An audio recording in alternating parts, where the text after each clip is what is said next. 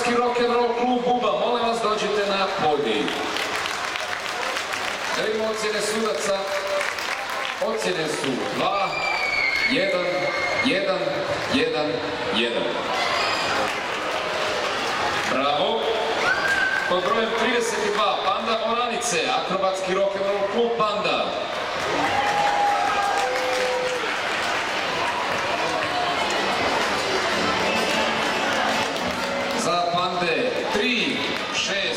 šest, tri, šest. Ajmo pljesak za tablice. Grofice su bile pod brojem 36, akrobatski rock'n'roll klub Bandanac. Naše grofice su zaslužile ocjene 4, 5, 5, 5, 4. Odlično, odličan 5 pobrojen. 38 bile su Trnsko, akrobatski rock'n'roll klub banda. A Trnsko dobiva ocjene 1, 2, 2, 2, 2. Po brojem 47, Sesvetska sela, akrobatski rock'n'roll klub Mega Sesvetska sela imaju ocjene 6, 7, 4, 4, 7. Pod brojem 48, Rock United, akrobatski rock'n'roll klub Megarok. Rock United ima ocjene 5, 4, 3, 7, 5. I Zlatni rockeri pod brojem 56, rock'n'roll klub Limbo Rock. 73763.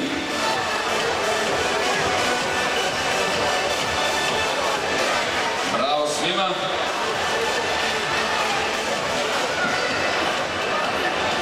Idemo odmah na finale formacija mlađih osnovaca. Znači, pročitao sam vam koji ste sve došli u finale, a sada ćete plesati jedna po jedna formacija. U prvoj rundi pod brojem 62 pod brojem 62 Rudeš Direction Rock'n'Roll klub, Rock'n'Roll gimnazija.